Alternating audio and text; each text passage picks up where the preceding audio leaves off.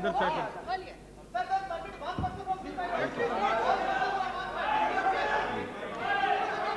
no no please no no please no no no please ना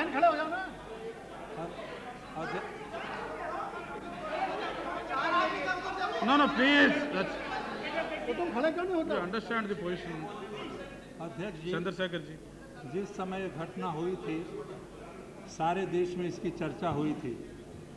और उस चर्चा में अधिकांश लोगों ने ये कहा था कि सीबीआई अपनी सीमा के बाहर गई है। ये भी बात सही है कि उस समय सेना के लोगों ने, अधिकारियों ने उनकी मांग को मानना स्वीकार कर दिया था। यह भी सही है कि जो कहा गया कि पटना हाई कोर्ट ने उनको कोई ऐसा निर्देश दिया था कि सेना बुलाई जाए, वो बुला सकते हैं। इसको भी सेना के लोगों ने स्वीकार किया था।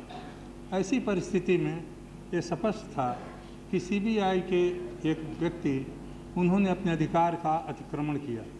मैं नहीं जानता कलकत्ता हाई कोर्ट का निर्णय क्या है, उस निर्णय के बारे में मैं कुछ कहना नहीं चाहता, लेकिन ये प्रश्न ज़्यादा मौलिक है, जिसका ज़िक्र अभी सोमनाथ चटर्जी जी ने किया। अगर पुलिस के लोग सेना बुलाने का काम करने लगेंगे तो इस देश का सारा ढांचा ही टूट जाएगा। सेना बुलाने के लिए बहुत से तरीके हैं वहाँ पर अगर मान लीजिए मुख्यमंत्री नहीं बुला रहे थे तो वहाँ राज्यपाल जी हैं।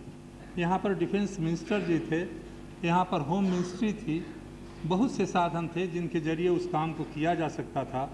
लेकिन किसी पर पुलिस अधिकारी का सीधे सेना के पास पहुँचना एक अक्षम्य अपराध है। मैं नहीं जानता किस आधार पर कलकत्ता हाई कोर्ट ने कहा है कि उनको इस बात के लिए सज़ा नहीं मिलनी चाहिए।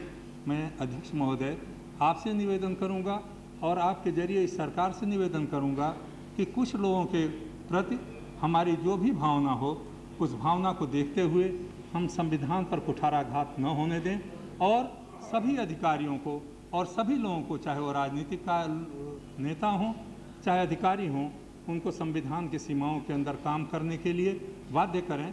और अगर ऐसी कोई विकृति आई है तो उसके लिए उच्चतम न्यायालय का निर्णय लेना आवश्यक है। और मुझे विश्वास है कि हमारे मंत्री हमारे मित्र श्री खुराना साहब इस संबंध में वो जरा छोटी बातों से ऊपर उठ करके एक मौलिक सवाल के ऊपर बात करें. Sach- जी.